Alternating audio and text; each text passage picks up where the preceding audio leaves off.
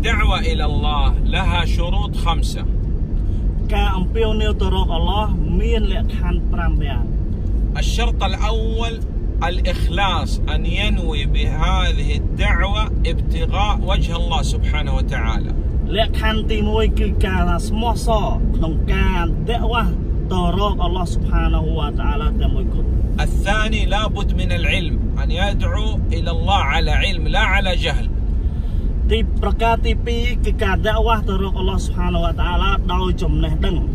الثالث لابد من الحكمة الحكمة هي سنة النبي صلى الله عليه وسلم طريقة النبي صلى الله عليه وسلم في الدعوة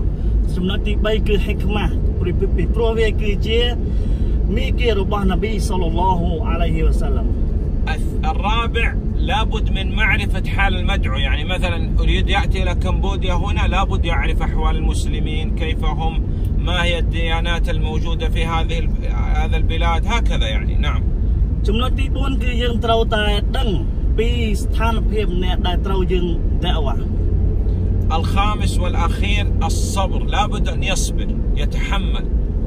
ប្រការទី5ចុងក្រោយ គឺទាមទារឲ្យយើងអត់ធ្មត់នៅក្នុងការដាក់វ៉ាទៅកាន់ផ្លូវអល់ឡោះស៊ុបហានាហ៊ូវតាអាឡា